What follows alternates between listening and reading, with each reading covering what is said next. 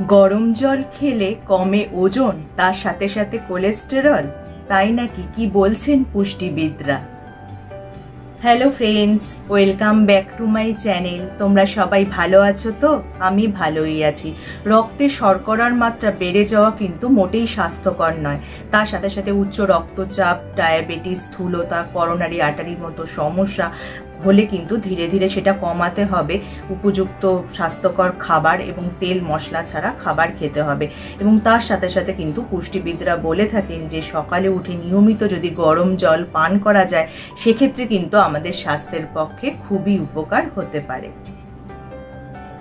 পুষ্টিবিদরা বলছে নানা গবেষণায় দেখা গেছে, সকালে ঘুম থেকে উঠে যদি গরম জল পান করা যায়, যাদের উচ্চ কোলেস্টেরলের সমস্যা আছে, তারা কিন্তু অনেকটাই উপকৃত হবে।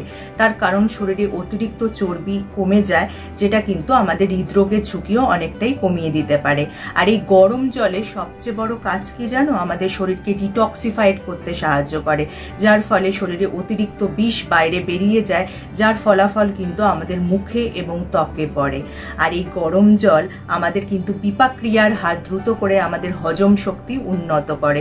যাদের ধরো কোষ্ঠকাঠিন্য সমস্যা আছে পেট সাফ হয় না তারা যদি সকালে ঘুম থেকে উঠে নিয়মিত এই গরম জল পান করে তাদের কিন্তু কোষ্ঠকাঠিন্য সমস্যাও ধীরে ধীরে কমে যায়।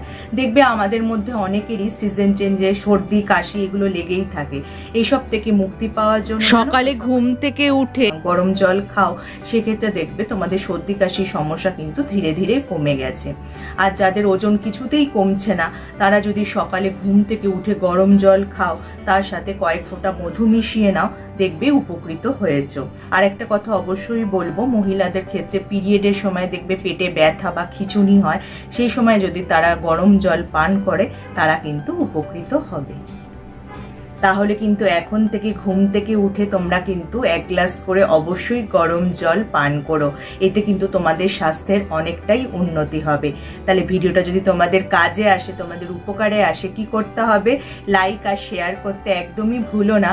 যারা আমার এই চ্যানেলটা প্রথম দেখছ, চ্যানেলটাকে অবশ্যই সাবস্ক্রাইব করে নিও এরকম উপযোগী ভিডিও আরও দেখার জন্য। তার পাশে যে বেল আইকনটা আছে, ওটা প্রেস করে অন করে দিও। যার ফলে যখনই আমি ভিডিও আপলোড করব নোটিফিকেশন নোটিফিকেশন তোমাদের কাছে পৌঁছে যাবে।